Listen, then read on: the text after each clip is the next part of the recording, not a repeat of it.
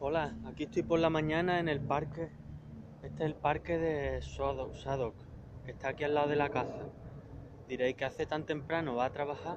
Pues no, mira, hoy no trabajo. Pero me he levantado temprano, temprano. Y, y no, no es el espíritu de la contrariedad.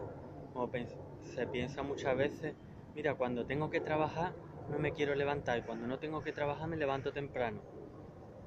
Sí, pero no. Porque cuando uno tiene que trabajar, está trabajando para los demás, para la empresa, para enriquecer a la empresa. Sin embargo, cuando uno tiene el día libre, pues lo que hace, si aprovecha el día, lo hace para uno mismo, para crecer uno mismo, para desarrollarse uno mismo. Entonces, por eso, hoy me he levantado tan temprano y mi hermano estaba durmiendo todavía, pero bueno, he estado haciendo algunas cosas con el ordenador, estaba preparando libros para leer, que ahora estoy volviendo y estoy leyendo por lo menos cuatro libros a la semana, por lo menos, o más. Yo creo que es más. Y eso, estaba preparando algunas cosas y, y como todavía es temprano y las cosas que tengo que hacer no puedo empezar todavía, pues me he venido aquí al parque a correr un poco, a activar el cuerpo. Y siempre con el ginger, el ginger activa el cuerpo, es buenísimo. Ayer estuve trabajando y súper bien. Estuve por la mañana con el compañero Miguel y el compañero se lleva súper bien conmigo y como estábamos por la mañana nada más que los dos solos y nadie mandaba sobre nosotros, nada más los dos y no estaba bici la mañana, no había mucha tarea, pues venga y cogimos una hora de break cada uno. Normalmente nos corresponde media hora, pero cogimos una hora porque como no estaba bici, nosotros no organizamos el trabajo y estupendo. Ayer me mandó un mensaje una mujer que conocí cuando estuve en lo de la limpieza. Esto que se acordaba de mí, no sé qué, que cómo estaba, preguntándome. Está loca por mí, pero bueno, yo la hago esperar. Y nada, es muy, muy buena, muy- me gusta mucho. Y hoy voy a ir con mi hermano a apuntarnos al inglés. Ya una buena noticia, a Daniel le pagaron lo que le debían de la limpieza y de lo de la publicidad. Dice una 400 y pico libras. Bueno, algo, algo, ya por lo menos la criatura tiene su dinerito y puede estar más independiente y estar más contento. Y ya le he dicho, digo, te tienes que apuntar al inglés. Porque por un lado tienes la Oyster de descuento, entonces el inglés te viene a costar poquísimo. Te ahorras mucho dinero. Y además tienes que desarrollarte. Además, en noviembre tienes una prueba de un trabajo en la torre, en el Shark, que es la torre, el rascacielos más alto de Europa. Y tiene una prueba como para como para guía, algo así como guía, más o menos guía a la gente a donde quieran ir, a cada planta, explicarle la recepción, lo acompaña. Y es un trabajo que él vale mucho para eso. Y le he dicho, tienes que desarrollarte con el inglés, tienes que coger ese trabajo que es estupendo para ti. Y por eso se va a poner con el inglés. Y yo también me voy a apuntar. Esta mañana tengo que acompañar a una amiga al médico que no sabe ella mucho inglés, no sé qué, bueno. Y después tengo que ir a lo de la residencia, que la otra vez me faltaron algunas cosas, le tengo que pagar al hombre y eso. Y nada, seguí para adelante, para adelante, para adelante. Porque no, no es el espíritu de la contrariedad, porque cuando uno tiene el, el día para uno mismo, para crecer uno mismo y desarrollarse uno mismo, pues estupendo. Y se levanta uno temprano sin despertador. No vea qué maravilla porque está uno ilusionado en, en tirar para adelante. Y ayer, ayer mi hermano estuvo el día off, el día libre, y estuvo por ahí, para allá, para acá. Y después yo salí del trabajo a las 6. Y llegué aquí, mi hermano no estaba, lo llamé, digo, ¿quiere que salgamos de una vuelta? Y ya él vino. Y ya después salimos de una vuelta. Estuvimos por ahí por Green Park, ahí a la vera de, de Buckingham Palace. Lo que pasa es que yo nunca he estado por ahí. Y, pero unos parques preciosos, era de noche. Dimos un paseo, un paseo precioso, maravilloso.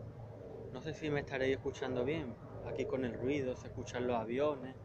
Pero bueno, espero que sí. Y lo pasamos muy bien porque trabajamos y nos lo merecemos y vamos a salir, salimos todo aquello y nos lo pasamos bien y cada vez más. Y aquí como veis estoy en mangas cortas. Hace un poco de fresco por la mañana porque claro, es por la mañana, pero se soporta bien y ahora me pongo a correr, activo el cuerpo y estupendo. Este parque es grande y está abierto desde la mañana y la gente, como veis, aquí ha pasado uno en bicicleta, corriendo desde la mañana, la gente madrugando para su hobby, para desarrollarse. Es muy bonito. Y en el parque que estuvimos ayer estaba oscuro y no nos metimos mucho, pero era precioso. Una preciosidad, vamos. Unos lagos en todo el centro, centro, centro de Londres. Entre Piccadilly Circus, Green Park, pero un parque enorme tenía como una casita en miniatura, como una casita así de cuento. Hombre, que había una persona dentro, pero la casita de alto podía tener dos metros y pico, tres metros. O sea, una casita tenía como un huerto delante, lo que pasa es que estaba oscuro, no se veía bien. Y Londres es una ciudad que en la mayoría de los sitios de Londres por la noche no tienen una iluminación agresiva antinatural, sino están como a media luz y es, da una sensación muy familiar. No una luz tan fuerte, tanta contaminación lumínica y es estupendo. Y tiene un ambiente como íntimo, familiar, maravilloso. Y, y todos los sitios son muy típicos. No hay edificios altos, los edificios altos que hay son a lo mejor rascacielos que también tienen un atractivo muy grande, pero en general los edificios no pasan más de 3, 4 plantas y hay muchos barrios y no en la afuera de Londres, sino en el centro y un poquito más en la zona 2.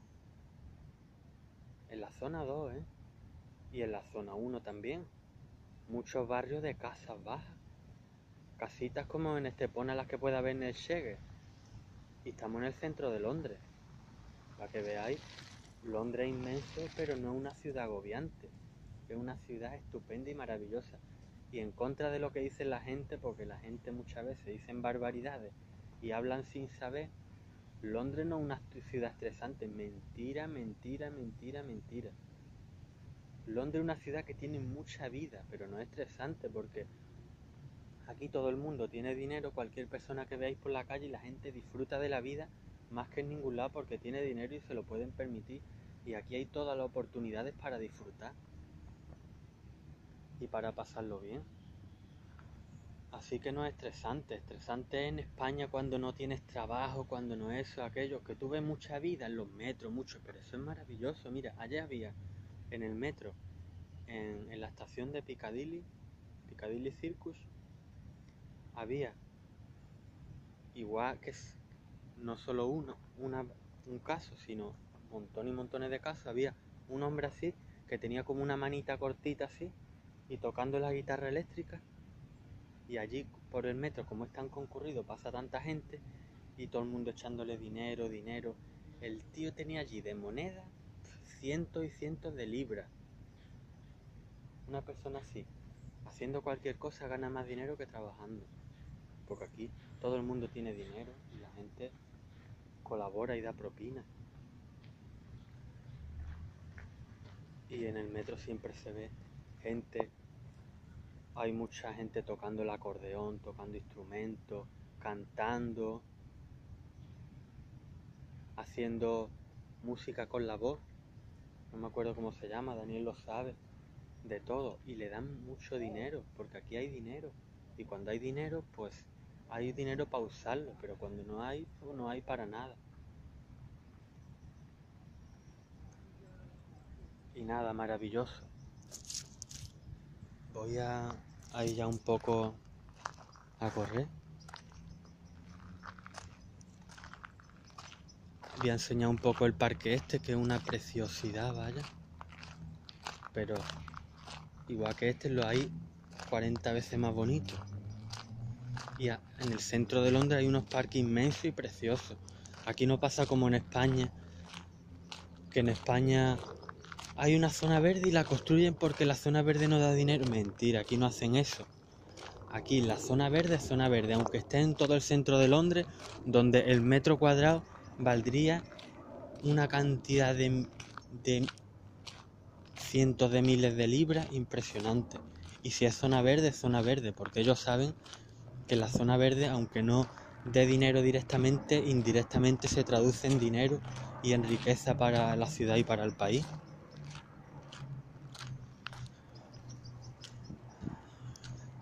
Y aquí los parques le tienen una veneración y porque los parques es algo maravilloso. Aquí viene la gente a despejarse, a desconectarse, a relajarse, hace deporte, hace gimnasia, hace hasta meditación, hace, hace reiki, hace cosas de esas, se vienen a los parques, porque esto es una ciudad más avanzada. En España a lo mejor ve una persona así, ya lo ponen de raro, de loco, de esto. Aquí eso no existe.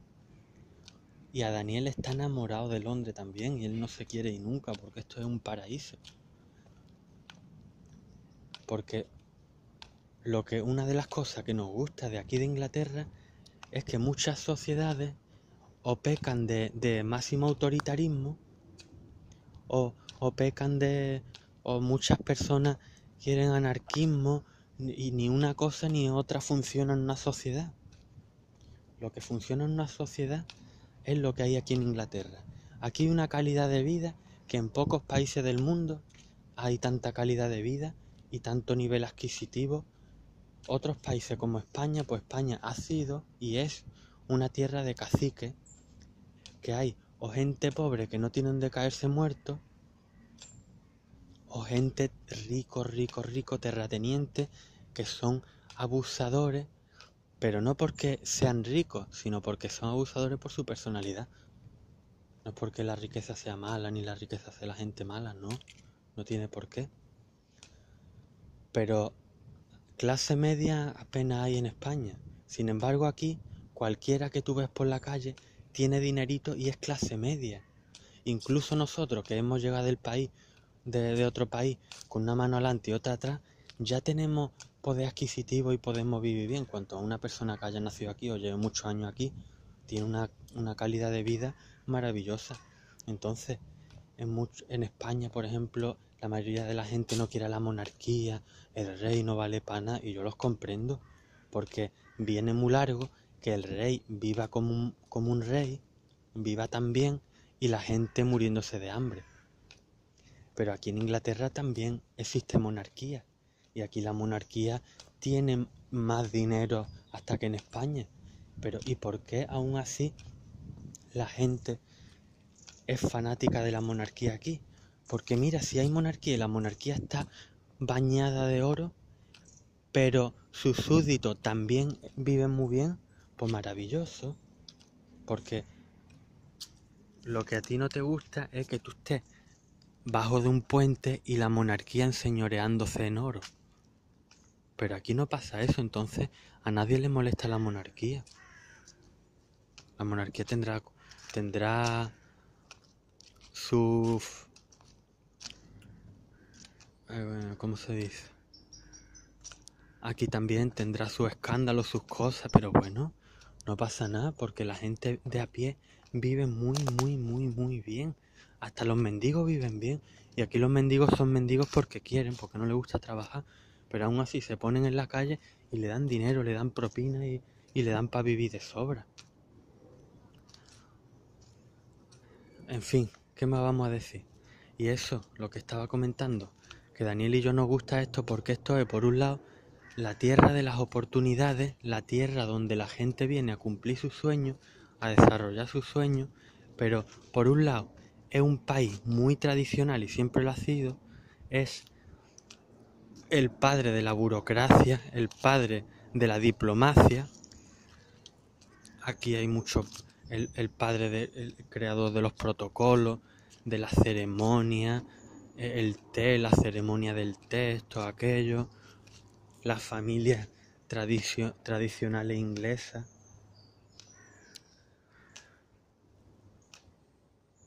En fin, los padres de la diplomacia y de la burocracia. Las leyes siempre ha habido un complejo entramado y sistema legislativo, político, esto, aquello, vale. O sea, muy tradicional.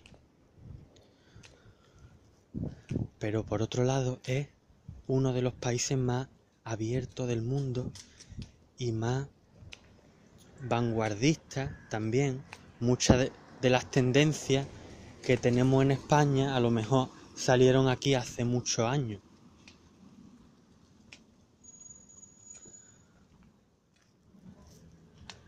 Por eso es una dualidad que a veces no nos entra en la mente, porque España está como a lo mejor 100 años por detrás a nivel social y en todos los sentidos. Aquí la gente son tan abiertas que aquí no dicen, ah, esto es raro, esto es aquello, como tanto se dice en España. Tú eres raro, ¿no?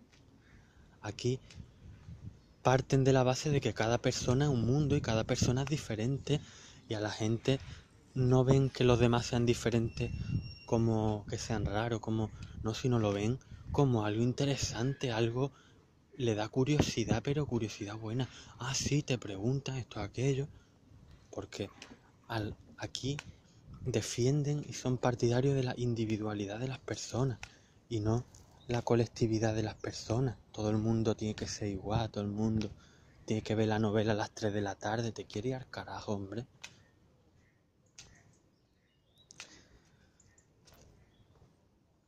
Aquí, por ejemplo, las familias.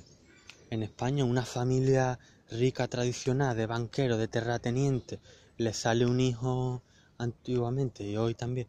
A lo mejor le salía un hijo, supone, un hijo maricón o un hijo que le gusta eh, los videojuegos, que le gusta lo que sea, o que le gusta los grafitis, o que le gusta las patinetas, lo que sea, cualquier cosa de esa, y ya una vergüenza para la familia, casi que lo desheredan, casi que, que no lo miran a la cara, se avergüenzan de su hijo, porque el hijo a lo mejor no ha seguido las tendencias de los padres, a lo mejor de gustarle los toros, o de gustarle el furbo, o de gustarle eh, eh, cualquier cosa de esa.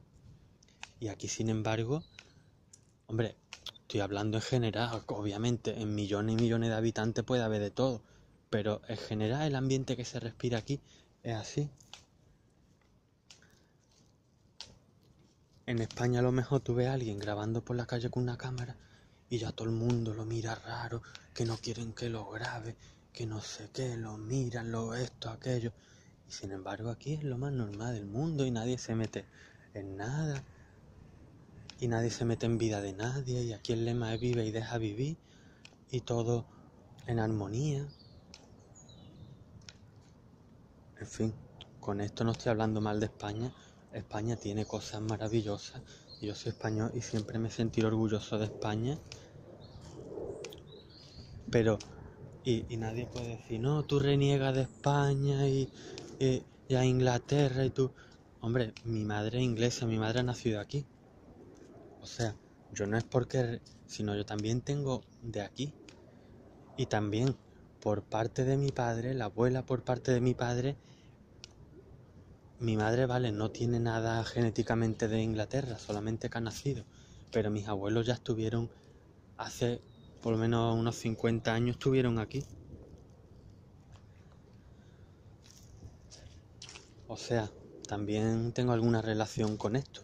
Y además, por parte de mi padre, la abuela por parte de mi padre sí era 100% de británica y de origen británico, hija de un británico, de un militar británico, lo que pasa que algo pasó ahí raro, que habrá que investigarlo, y, y la dieron en adopción y la adoptaron una familia española, pero ella era inglesa, o sea, lo que estoy diciendo, mira, esto aquí en el parque para jugar fútbol quien quiera, y aquí vienen la gente cuando tienen tiempo y se tumban aquí con los niños a jugar, a tomar el sol, lo que sea. Aquí no hay vergüenza, aquí una persona se puede poner aquí a tomar el sol en el césped y nadie mira nada, nadie se mete con nadie. Hombre. Aquí no hay ni censura ni nada. Aquí libertad. Tú puedes hacer aquí lo que quieras. Puedes ir a, aquí. Tú ves a lo mejor en el metro, los trabajadores del metro, y hay uno en, la estación de Oxford Circus, la estación más céntrica de Londres. Y un tío que tiene una cresta, una cresta de gallo, todo rapado con una cresta, pero la cresta tiene de alto por lo menos una cuarta de alto o más, pintada de colorado, así una cresta de una punta a la otra. Y el tío trabaja en el metro y nadie mira a nadie, nadie se mete con nadie. Rápido iba a pasar eso en España, que, que no vea, vamos. No es porque yo me guste para mí hacerme una cresta de esas, sino a mí lo que me gusta es el respeto, respetar a todo el mundo y la libertad que cada uno se manifieste como quiera. Pero lo que estaba diciendo, aquí hay libertad 100%. Cada uno puede hacer lo que le dé la gana siempre que no haga daño ni ofenda a nadie y siempre tampoco que no rompa nada ni nada. Aquí el vandalismo está muy castigado porque eso ya se pasa, eso ya no es libertad. El vandalismo ya se pasa de la raya. Y aquí hay cámaras por todos lados, el país con más cámaras que hay, y aquí si una persona hace algo, lo cogen. Aquí porque aquí hay cámaras por todos lados, si no te cogen con una cámara, te cogen con otra que hay más para allá, te cogen con otra, y aquí en, en 200 metros cuadrados puede haber 20 o 30 cámaras, según los sitios. Y dentro de las empresas, todo lleno de cámaras igual, no solo afuera, sino dentro. Dentro de las comunidades de vecinos, todo lleno de cámaras. Pero bueno, las cámaras no hay que verlo como algo malo. Si tú quieres ser un canalla y hacer cosas malas, pues ten miedo de las cámaras. Pero las cámaras también te defienden y también dan tranquilidad. Porque aquí, con tantas miles de personas que hay y millones de personas aquí en Londres y gente de todos lados, cada uno de su padre y de su madre y de cada uno de sus países, pero es uno, un sitio muy seguro, es bastante seguro Londres. También habrá delincuencia, no digo que no pero en general es seguro. ¿Por qué? Hay menos robo, menos cosas. ¿Por qué? Porque aquí todo el mundo tiene dinerito. Todo, el mundo que estáis viendo por ahí tiene dinerito y bastante dinerito. Y se pueden permitir sus vacaciones y todo, en todos los años, cuando quieran. Entonces, ¿por qué la gente se van a molestar a lo mejor en robar en una tienda, robar cualquier miseria, cualquier cosita, en quitarle a, alguien el bolso? Pues no, ¿para qué se van a mojar? ¿Para pa, X libras si, si la gente tiene dinero? Ahora, cuando la gente no tiene donde caerse muerto, pues hay más delincuencia.